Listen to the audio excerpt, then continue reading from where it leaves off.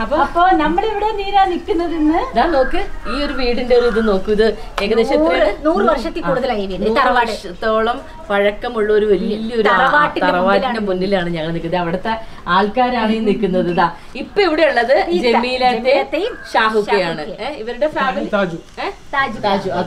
അപ്പൊ ഇവിടെ ഒരു വലിയ ഫാമിലി ആയിരുന്നു അല്ലേ നിങ്ങൾ? ഇപ്പൊ എല്ലാരും ഇവിടെ നിന്നൊക്കെ വെച്ച് മാറി.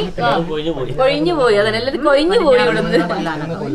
പടിഞ്ഞാറൻ കൊഴിഞ്ഞു പോയി അവരുടെ ഭാഷയിൽ ഇവിടുന്ന് സെപ്പറേറ്റ് ആയിട്ട് സെപ്പറേറ്റ് നമ്മൾ മാറുമല്ലോ. തറവാടിന്റെ പേര് കേട്ടോ. പടിഞ്ഞാറകം എന്ന കൊല്ലാനകം. പടിഞ്ഞാറകം എന്ന കൊല്ലാനകം തറവാട്ടിലാണ് നമ്മളിപ്പോ നിൽക്കുന്നത്. അത് പൊന്നാനിയിൽ. പിന്നെ ഇവിടെ നമ്മുടെ നമ്മളൊരു ഫിലിം ഷൂട്ട് ചെയ്തത്?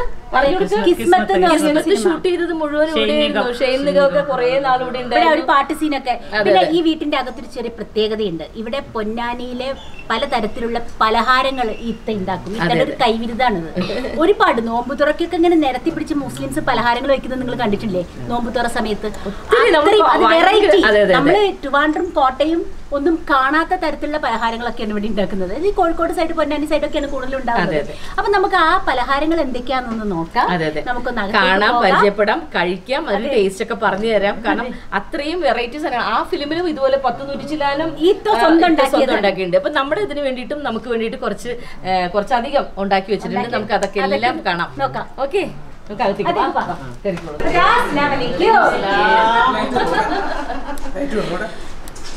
പഴയ എന്താ ഒരു ഫീലിംഗ് എന്താ രസം. പണ്ടത്തെ നമ്മുടെ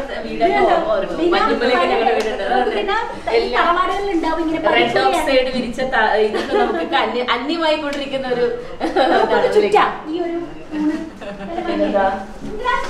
മറ്റേ അമ്പലത്തിൽ ചുറ്റി വരില്ല അതുപോലെ. മഴ വരുമ്പോ നേരെ ഇങ്ങോട്ട് വന്നോളൂ അല്ലേ വെള്ളം വെള്ളം പഴയ നടുമുറ്റം അല്ലെ നാലുകെട്ട് നാല് കെട്ട് രസം മഴ വരുന്ന സമയത്തൊക്കെ ഇവിടെ വർത്താനം പറയാനൊക്കെ വൈകുന്നേരം ഒത്തിരി കട്ടൻ കേട്ടുകൊണ്ട്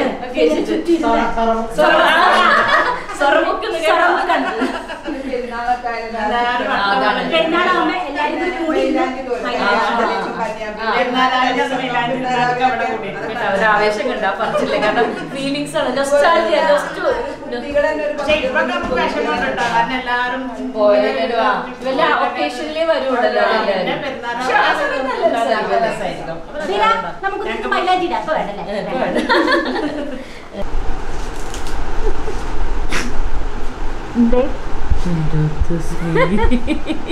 ഇതെന്തൊക്കെയാ തസ്നീ? ഇതാണ് നോമ്പ് തുറ വിഭവങ്ങൾ എന്നൊക്കെ പറയില്ലേ മലബാർ സൈഡിലേക്ക് അത് പൊന്നാനി കോഴിക്കോട് കണ്ണൂര് ഒക്കെ വടകര എല്ലാ സ്ഥലത്തും നോമ്പ് തുറക്കി ഈ മേശ നിറയെ നിരത്തും വീരാ. നമ്മുടെ നമ്മുടെ ഭാഗത്താണ് എറണാകുളത്തൊക്കെയാണ് ചിലവര് സാധാരണ ഒരു ഉന്നക്കായ ഉണ്ടാവും ചെമ്മൂസ് ഉണ്ടാവും എന്നൊക്കെ അല്ലാതെ അതെ, അതെ, അതെ. അത്രയ്ക്ക് കുറച്ച് രണ്ട് മൂന്നെണ്ണം. വെള്ളം. പക്ഷെ ഇത്രയും കഴിച്ചില്ലെങ്കിലും നിറയ്ക്കും. ഇതാണ് ഇവിടുത്തെ പ്രത്യേകത. എല്ലാം ഉണ്ടാക്കുമല്ലേ അതിന്റെ ഒരു ആ ഒരു സമയത്ത് അതിനല്ലേ? ആ. ഒരു ഫീൽ ഞാൻ പറയട്ടെ? ഇതിൽ നിനക്ക് പരിചയമുള്ള എന്തൊക്കെയാണെന്ന് പറഞ്ഞേ? ഇത് ഉന്നക്കായ, ഇതറിയാം. ഇത് പഴം നിറച്ചത്. അല്ലേ. അതറിയാം. ഇത് സമോസ. പക്ഷേ ഇത് സമോസ. സമോസക്ക് ഒരു പ്രത്യേകത ഉണ്ടല്ലേ ഇതിനൊരു പിരിഞ്ഞ് പിരിഞ്ഞ്. ആ പിരിഞ്ഞ എന്താണെന്നറിയോ. കോഴിക്കോട് സൈഡിൽ പൊക്കി പിടിക്കും കാണിച്ചു ആ, പൊക്കി നീ പൊക്കി പിടിക്കുന്നു. അതെ.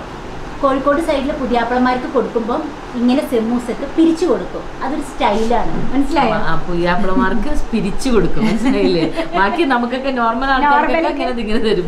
അല്ലെങ്കിൽ ഇതങ്ങനെ പിരി എന്ന് വെച്ചാ അതിനകത്തൊരു കൊത്തുപണി ചെറിയൊരു അതെ, അതെ. അലങ്കാര പണി കൂടി ഇട്ടിട്ട് പുയ്യാപ്പിളല്ലേ പുതിയാപ്പിളമാർക്ക് പിരിച്ചു കൊടുക്കുന്ന സെമൂസയാണ് പിന്നെ ഇത് ഇതെന്താ. വേറെ സമോസ? ഇത് ഇത് സെമ്മൂസ അല്ല ഇത് ഉന്നക്കായ് തന്നെ പഴം കൊണ്ട് ഇതേപോലെ സെമ്മൂസ രൂപത്തിൽ ഉണ്ടാക്കിയത് അതിന്റെ അകത്ത് പഴമാണ്. സെയിം ഇൻഗ്രീഡിയന്റ് തന്നെ അതിന്റെ ഷേപ്പ് മാറ്റി. അടിപൊളി. ഇത് എന്താണ്? ഇത് ജിലേബി. പിന്നെ ജിലേബി? കൊലേബിയാ. ഇതാ.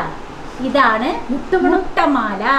മുട്ടയുടെ മഞ്ഞക്കരു ഇല്ലേ അത് മാത്രം എടുത്തിട്ട് പഞ്ചാര പാനിയൊക്കെ ഇട്ടിട്ട് ഇങ്ങനെ ഉണ്ടാക്കുന്നത്. അടിപൊളി കേട്ടോ. എല്ലാം കാണാൻ തന്നെ എന്തൊരു മധുരമായിരിക്കും, ഭംഗി. നല്ല ടേസ്റ്റ് ആണ്. മഞ്ഞക്കരു മാത്രം അടിപൊളി. അതാണ് മുട്ടമാല. ഇതോ ഇത് കണ്ടോ? ഇത് കിണ്ണത്തപ്പം. അല്ല ഈ മുട്ടമാല ഉണ്ടാക്കുമ്പോ അതിന്റെ വൈറ്റ് ഉണ്ടാവും. അതിന്റെ വൈറ്റ് ആണ് മുട്ട സുർക്ക എന്ന് പറയുന്നത്. മുട്ട സുർക്ക. ശരി കിണ്ണത്തപ്പം പോലെ ഉണ്ട് കേട്ടോ. മുട്ട സുർക്ക അടിപൊളി. അത് കൊള്ളാം. സോഫ്റ്റ് ആണ് ഭയങ്കര മധുരമാണ് നല്ല ടേസ്റ്റ് ആണ്. ഓക്കെ. ഇതെന്താന്ന് മനസ്സിലായി നിങ്ങൾക്ക്? ഇത് എന്തോ കേക്കാണ്. ഇത് തരിപ്പോള എന്ന് പറയും. തരിപ്പോള. ഈ തരിപ്പോളക്ക് ഒരു പ്രത്യേകത കേക്ക് പോലെ ഇത് കേക്ക്. റവ വെച്ചിട്ടാണ് ഈ. തരിപ്പോളയുടെ പ്രത്യേകത എന്ന് വെച്ചാൽ ഇത് നമ്മുടെ ഈ സൈഡിൽ കോഴിക്കോടായാലും അങ്ങനെ തന്നെയാണ്.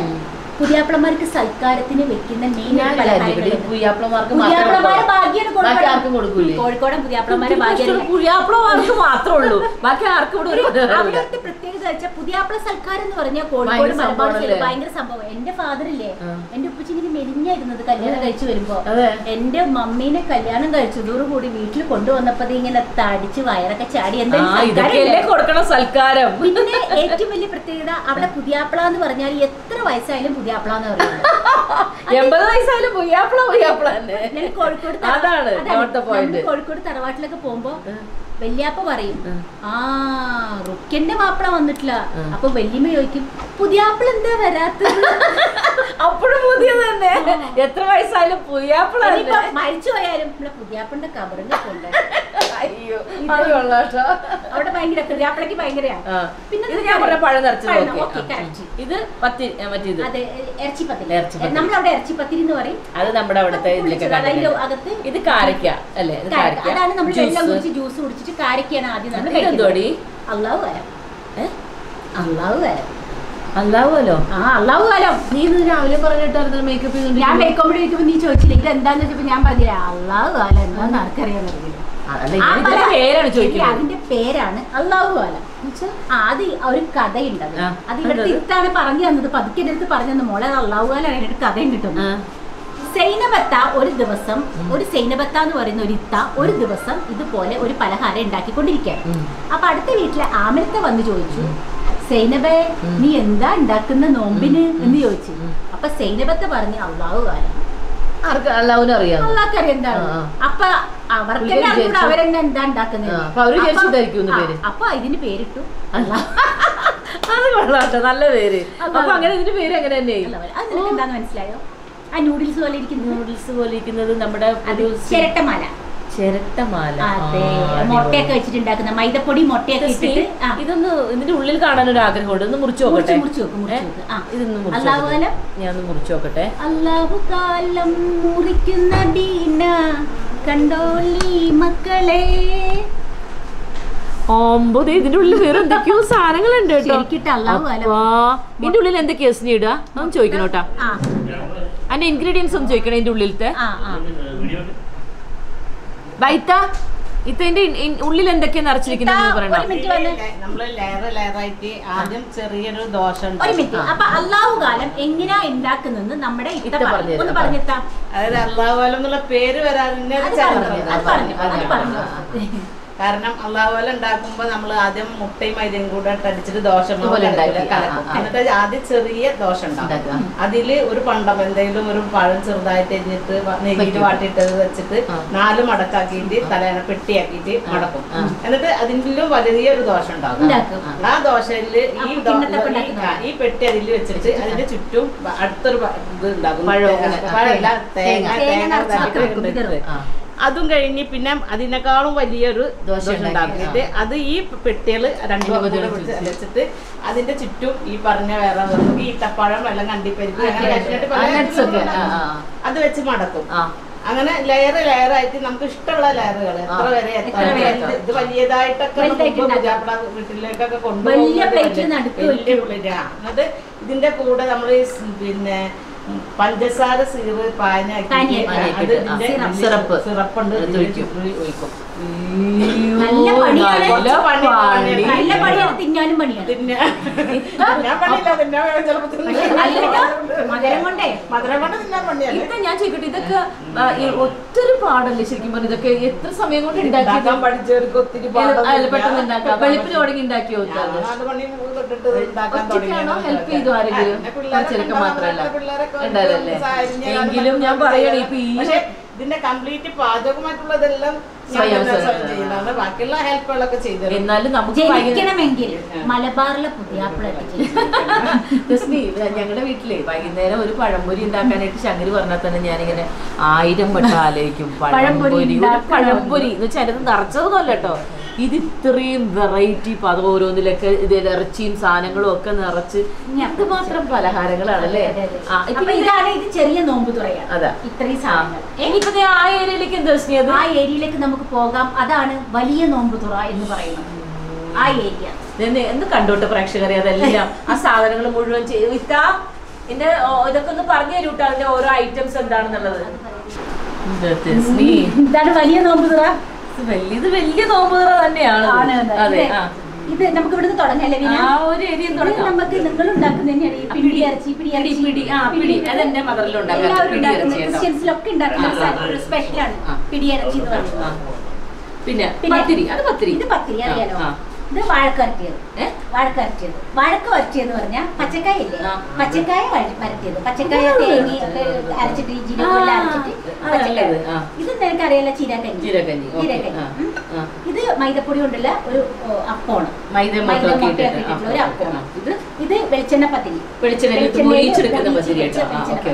ഇത് ഇത് ഇത് chicken Chicken curry, chicken curry. അരച്ച chicken curry. Chicken fry. Chicken fry beef fry. ഇത് വേറൊരു ബീഫാണ്. Beef curry. ബീഫ് കറിയാണ് ബീഫ് ആ വേറൊരു ബീഫ് കറി. കറി. ഇത് നമ്മൾ അവിടെ വെച്ചതാണ് പക്ഷെ ഇത് ഇവിടെയാണ് ഇത്ത വെച്ചത്. കോഴിയട. കോഴിയട. അതറിയാം എന്റെ ബീന ഇത് എങ്ങനെ കഴിക്കണം എന്നാണ് അല്ലേ കോമ്പിനേഷൻ കറികൾ മുളകിട്ടത്?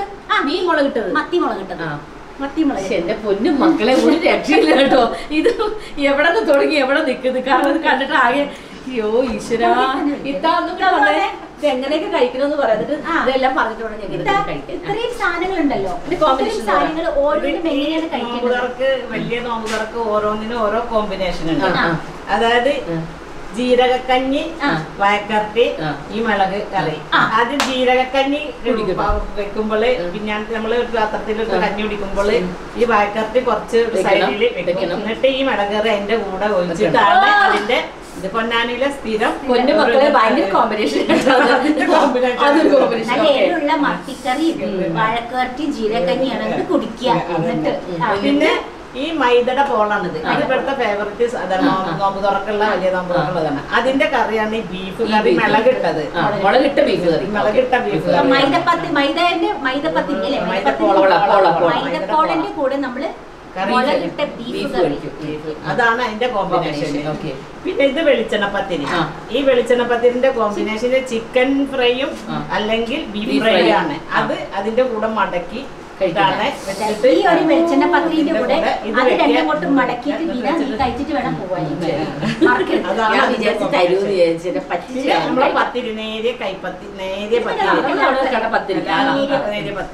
പത്തിരിന്റെ കൂടെ ചിക്കൻ കറി. അത് വറുത്തരച്ചാണ് അല്ലേ? വറുത്തരച്ച ഇതെല്ലാം കഴിച്ചിട്ട് എരി കൂടുതലാണെങ്കിൽ ഇത് കഴിഞ്ഞ്? നമുക്കൊരു ഇറച്ചിപ്പിടി കൂടെ ഇതിന്റെ കൂടെ ഉണ്ടാവും. വലിയ. നോമ്പുറാണ് ഇതൊക്കെ എങ്ങനെ കഴിക്കും? നിസ്കാരം കഴിഞ്ഞിട്ടാണോ കഴിക്കുക? കഴിഞ്ഞിട്ട് ഒരു മുത്തായം നട്ടൊരു ആ, പരിപാടി മുത്തായ വെടി. ഒരു അതിൽ പിന്നെ ഒരു മുള്ളടെ ഇത് വെച്ചിട്ട്. അതൊരു അത്തായത്തിന്റെ സമയം വരെ പിള്ളേരിന്ന്. അതാണ് അതിന്റെ ഒരു അത് നമ്മൾ കണ്ടു. ആ. അപ്പൊ ആ മുത്തായ വെടി പൊട്ടിച്ച് കഴിഞ്ഞിട്ട് ഇങ്ങനെ കഴിക്കുക. അതിന് വേറെ ഐറ്റംസ് വേറെ. പിന്നെ ഉണ്ടാക്കും. അപ്പൊ ഉണ്ടാക്കും. അതിന് വേറെ ഉണ്ട് അതിന് ഈ പറഞ്ഞ സാധനങ്ങളൊന്നും അതിനുണ്ടാകും ഓ ഇതല്ലാതെ ഇന്ന് വേറെ ഉണ്ടാക്കും. അപ്പൊ അതാണ് നോമ്പുതറ കഴിഞ്ഞ് മുത്തായത്തിന്റെ തറാവി നമസ്കാരം കഴിഞ്ഞാൽ കഴിക്കാൻ അല്ല? ഇതൊക്കെ കഴിക്കുമ്പോ എരിവുണ്ടാവില്ല. അത് സ്വീറ്റ് ആയിട്ട് നമ്മൾ കഴിക്കുമല്ലോ നോമ്പ്. ഉണ്ടല്ലോ. എല്ലാതരം ജ്യൂസ് ഉണ്ടാവും. സ്വയം പ്രധാനമായിട്ട് ചക്രമത്ത ഉണ്ടാവും. ചക്രമത്തലിന് പിന്നെ അള്ളാഹുകാലം അല്ലാവത്തിനുള്ളിൽ നല്ല സ്വീറ്റ് ഉണ്ട്. ഞാൻ അള്ളാഹുകാലം പിന്നെ കഴിച്ചു നോക്കി കഴിക്കാത്ത സംഭവം ഏതാ ബീനല്ല ഇത് കഴിച്ചോ നീ? ചിരട്ട ചിരട്ടമാല? ചിരട്ടമാല. കഴിച്ചിട്ടില്ല ഇത് നമ്മൾ എപ്പോഴും കഴിക്കുന്നില്ലേ? ചിരട്ടമാല നീ ഒരു പീസ് എടുത്ത് കഴിച്ചു നോക്ക്. ദാ. ആ, ആ, ആ, ആ, ആ, ആ. പിന്നെ പ്രത്യേകിച്ച് പൊന്നാനി?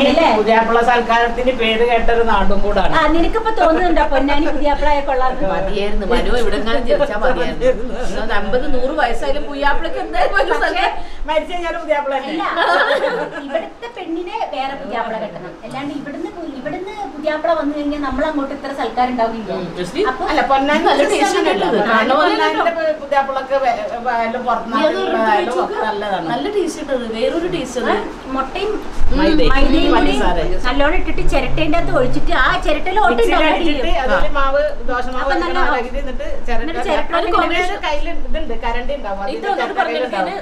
മൈദ മൈദ, മുട്ട. മുട്ടയും പഞ്ചസാരയും കൂടെ അടക്കാം. അളവുണ്ട് രണ്ട് മുട്ടക്ക് ചെറിയൊരു ഗ്ലാസിന്റെ കപ്പിന്റെ പഞ്ചസാര. അത് ഏലക്കായ പൊടി ഇട്ട് അടിച്ചിട്ട് നമ്മൾ ആ ഇതിൽ മൈദ കലക്കാം. ദോശമാവിനെ കുറച്ച് കട്ടിയിലാക്കിയിട്ട് കലക്കിട്ട് ആ. അപ്പൊ അതിന്റെ കയ്യിലില്ലെങ്കിൽ ചിരട്ട എണ്ണ തിളച്ച് വരുമ്പോ നമ്മളിപ്പോ ഈ ചിരട്ട പോലെ ചെയ്യില്ല. ഞാൻ ചെയ്യാറുള്ളത് വെറുതെ സ്പൂണിൽ ഇങ്ങനെ കോരി ഇങ്ങനെ അത് ഉണ്ണിയപ്പം പോലെ ഉണ്ണിയപ്പം പോലെ ഇരിക്കും. ഇപ്പൊ എന്തായാലും ഇതൊക്കെ കഴിഞ്ഞിട്ട് ഒരു പിടി പിടിക്കാനല്ലോ. എന്തായാലും ഇതൊക്കെ കഴിഞ്ഞ് ഒരു പിടി പിടിക്കട്ടെ. അതെ, അതെ. എന്നിട്ട് കൊറേ സംഭവങ്ങൾ കണ്ടു. നമ്മൾ ഇത്രയും ഒരു ഇതൊരു ഒരു ചെറിയ ഭാഗം മാത്രമായിട്ട് ഇനി കിടക്കാണ് പറയട്ടെ ഒരു ചെറിയ ഭാഗം ഇട്ടുണ്ടായിട്ടുള്ളൂ. ഇനി കിടക്കാണ് ലിസ്റ്റ്. പ്രത്യേകിച്ച് നിങ്ങൾ പ- പെട്ടെന്ന് മിനിയാന്ന് ഇന്നലെ മാത്രം അതെ, അതെ, നമ്മൾ പെട്ടെന്ന് പറഞ്ഞു വന്നതാണ്. അതെ. ഇന്നലെ ഇന്നലെ ഇലക്ഷൻ വർക്കിന്റെ ഡ്യൂട്ടി അതൊക്കെ ഉണ്ട്. കുറച്ച് ബുദ്ധിമുട്ടുള്ളത് അയ്യോ പാവം. നമ്മുടെ യൂട്യൂബിന് വേണ്ടിട്ട് ഇത്തേക്ക് ഒരുപാട് കഷ്ടപ്പെട്ടിട്ട് ഇതൊക്കെ രാവിലെ വെളുപ്പിനെ ഒരുപാട് കാണാത്ത ആൾക്കാർക്ക് ഒരുപാട് നല്ല വിഭവങ്ങൾ നമുക്ക് കാണിച്ചു തന്നിട്ടേക്ക് ഒരുപാട് താങ്ക്സ് അല്ലേ? ചെയ്തല്ലോ. നമുക്ക് ഒരുപാട് താങ്ക്സ് ഇനി നമുക്ക് എന്തായത് കഴിക്കല്ലേ? പിന്നെ ഒന്നും വിചാരിക്കരുത്. നിങ്ങളെ കൊതിപ്പിക്കുന്നില്ല കഴിപ്പിച്ച് ഒരിക്കലും ഞങ്ങൾ അങ്ങനത്തെ കാര്യങ്ങൾ ഞങ്ങൾ ഒരു ഓരത്തുനിന്ന് തുടങ്ങട്ടെ. ഓക്കെ. കഴിച്ചു കഴിഞ്ഞിട്ട് ബാക്കി കാര്യങ്ങളൊക്കെ കാണിച്ചു തരാം. ഇപ്പൊ അത്രേ ഉള്ളൂ. കാരണം കുറെ നേരം വെള്ളം ഇറക്കി നിൽക്കുന്നത്. ഓക്കെ. അപ്പൊ ഇനി ഒരു പിടി പിടിച്ചിട്ട് കാണാം. കാണാം. അപ്പോൾ നമ്മൾ ഇന്ന് വയറ് നിറയെ ഭക്ഷണം കഴിച്ചു. ബീന നീ ആ മൊട്ടമാലൊക്കെ തിന്നുന്നവരിട്ട് ഞാൻ നെട്ടിപ്പോയി ഞാൻ കാണാത്ത മൊട്ടമാലൊക്കെ ഇങ്ങനെ കഴിക്കുമോ മനുഷ്യര്? നല്ല വയറ് നിറച്ച്. കാരണം കാണാത്ത വിഭവങ്ങൾ നല്ല. ടേസ്റ്റ് ഇത്ത പറയാതിരിക്കാൻ വയ്യ. സൂപ്പർ കൈപുണ്യം. അപ്പൊ ഞങ്ങൾ നിറയെ ഭക്ഷണമൊക്കെ കഴിച്ച ഹാപ്പി ആയി അപ്പൊ നമുക്ക് എന്തായാലും ഈ എപ്പിസോഡ് നമുക്ക് ഇവിടെ ഇങ്ങനെ ചെയ്യാൻ. ആ, ബാക്കി കാര്യങ്ങളൊക്കെ ഇനി അടുത്ത എപ്പിസോഡിൽ കേട്ടോ. വിവിധ തര കലാരൂപങ്ങളും. എന്തൊക്കെ കാണാൻ ഒരുപാട് കാണാൻ കിടക്കുന്നുണ്ട്? പൊന്നാനിൽ ഒരുപാടുണ്ട്. അപ്പൊ എന്തായാലും ഇന്നത്തെ എപ്പിസോഡ് ഞങ്ങൾ വൈൻഡപ്പ് വൈൻഡ് അപ്പ് ചെയ്യാണ്. അതെ, അതെ, അതെ. അപ്പൊ ഇതുവരെ സബ്സ്ക്രൈബ് ചെയ്യാത്തവരെല്ലാവരും ചെയ്യാത്തവരെല്ലാവരും ഓടിപ്പോയി സബ്സ്ക്രൈബ് ചെയ്യുക. ചെയ്തോളൂ ബെല്ലൈക്കൻ അടിച്ചങ്ങ് പൊട്ടിക്കണം. ഓക്കെ അപ്പൊ എല്ലാവർക്കും- അടുത്ത കാണുന്നവരെ ബൈ, ബൈ. എല്ലാവരും ഒരു ബൈ പറഞ്ഞേക്ക് Bye. ബൈ